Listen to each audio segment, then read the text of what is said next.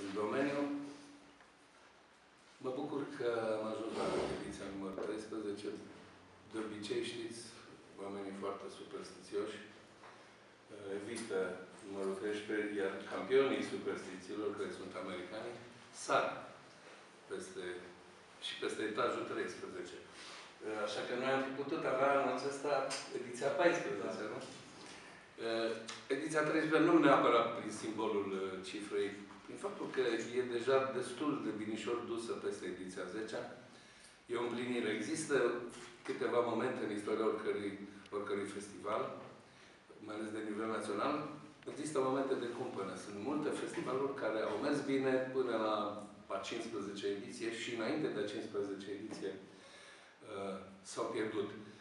Dacă noi am ajuns până, până aici și am ajuns atât de bine, recunoscut fiind faptul că ziua de mine este festival cu adevărat de nivel național, ba chiar majoritatea colegilor mei, majoritatea numelor mari din folk chiar au spus că e cel mai mare.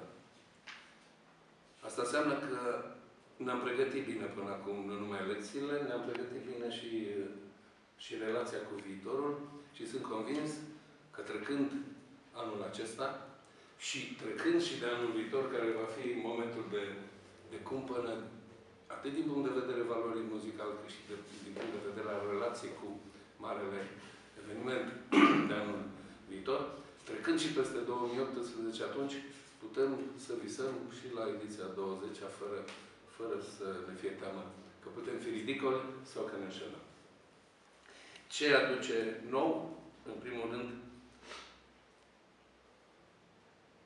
sosirea atât de suavă a lui Mircea Vintilă, de data aceasta nici cu brambura în spate, nici singur, ci pur și simplu cu orchestrele de camere. Este, este o noutate. Toți m-au întrebat la sala Palatului în culise ce face ce cu, cu sinfonicul. și am zis, nimeni nu știe, pentru că este cel mai secretos, cel mai discret și mai ascuns dintre colegii noștri. Nimeni nu știe exact ce va fi, dar nu cred că el s-a apucat de, de, spun, de, de o aventură muzicală și sunt convins că ceea ce vom, uh, vom auzi acolo pe scenă va fi de cea mai înaltă calitate. Eu, personal, sunt curios să ascult în același context cu orchestra de cameră și pe Alexandra Ușurelu. E nouă locația de dimineață a festivalului. Carolina Cafe, deși pentru mine nu e nouă deloc. Eu am fost uh, în zonă când încă era o, cama, o cameră, două camere, două camere părăsite, a fost uh, farmacie și înainte fusese acolo un magazin de uh, păsări exotice. Și am parcurs în uh, șapte ani toate etapele de la beră până dură până la ceea ce știți cu toți acum cum arată Carolina Cafe. Mie mi se pare un loc extraordinar de bine ales și de potrivit cu și puținuta genului muzical și poetic pe care îl aducem acolo. Iar nou este afluența aceasta de, de lansări de CD-uri și de, de carte. Cum spunea și lui Cezar Firu, o dovadă că de la exprimarea de scenă, o știm de cel mai înalt nivel a folcului, bănuită intelectual, nu? Pentru că nu poți să cauți marea poezie și să de muzică fără să fii pregătit în domeniu.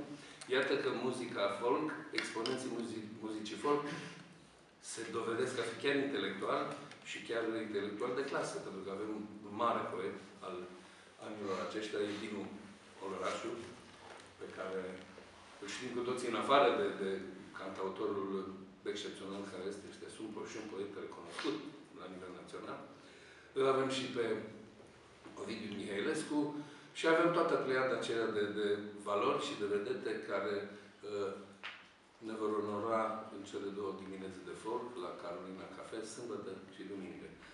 Iar spre seară, și sâmbătă și duminică vom avea nume 1, 1 și 1, firește, toți vă sunt cunoscuți, toți sunt iubiți, fiecare vine însă fiecare an, dacă nu cu ceva nou, muzical, cu emoții noi muzicale și de multe ori chiar și cu acompaniamente deosebite. deosebite, cum uh, se întâmplă și cu Mircea Vintilă. Uh, Bănuiesc că din orașul va veni cu Tituș, Constantin. Victor și Vasile vor veni cu acompaniatorul lor. Nu știu care este Nicu, nu știu, care nici schimbă în funcție de programele lor.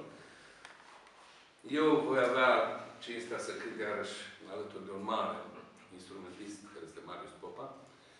Eu fiind Vali Șerban și el fiind ziua de mâine. Da? Așa am căzut de acord.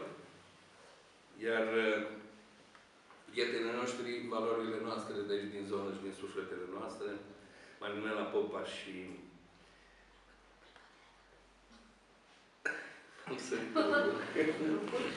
Daniel Abram. Daniel Abram, proveni apoi Ducu Berții, ferește cu, cu prietenii săi. Și finalul despre care vorbeam, Mircea Ventilă și Alexandra Ușurel. Acesta, aceasta este povestea. Să vedem cum va fi descrierea, punerea ei în scenă de sâmbătă junic. Câți concurenți aveți în ediția de anul acesta? Da, aș veni cu câteva completări. Pe partea de concurență, de concurs, am avut înscriși 10 concurenți de pe plan național. Au rămas 6 în concurs din Alba, Bistrița, Năsăud, Bacău, Hunedoara și Dâmbovița. Știm bine că e singurul concurs de muzică folk din țară, bazat doar pe interpretare a compozițiilor proprii sau a compozițiilor noi, asupra cărora dețin drepturile de autor. E singurul, tocmai de aceea numărul foarte, foarte mic. E chiar mare ca în fiecare an să fie cel puțin 10-12 compoziții noi în folk. Asta s-a și vrut. Chiar ne-am gândit dacă să mergem și cu varianta de interpretare a hiturilor din muzica folk.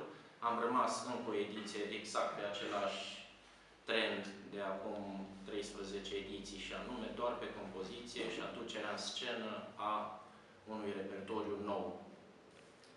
Ca și completări, vorbeam de Mircea Vintil, Alexandra Ușurelu și Orchestra de Camera Județului Alba. Este în premieră la nivel național acest aranjament muzical și punerea în scenă. Este, până la urmă, o dare de mână între generația tânără și generația de aur din folclorul românesc. De asemenea, vorbim despre schimbul de generații și colaborarea foarte frumoasă între generații. Vor fi prezente toate școlile de folk din județul Alba și vorbim de Daniel Avram cu școala de folk, Vali Șervan cu ziua de mâine și Marinela Popa cu clasele din cadrul Centrului de Cultură Augustin Berna. Ca buget, bugetul total este de 77.000 de lei și cam atât ca și completări. Juriu din cine? Juriul este format din George Stanca, Florin Săsărman, Marinela Popa, Vali Șerban și Cosmin Mihai Popescu. Fiecare în parte, cred că știți, numele sunt destul de sonore, realizatori radio și TV sau artiști din domeniul nostru.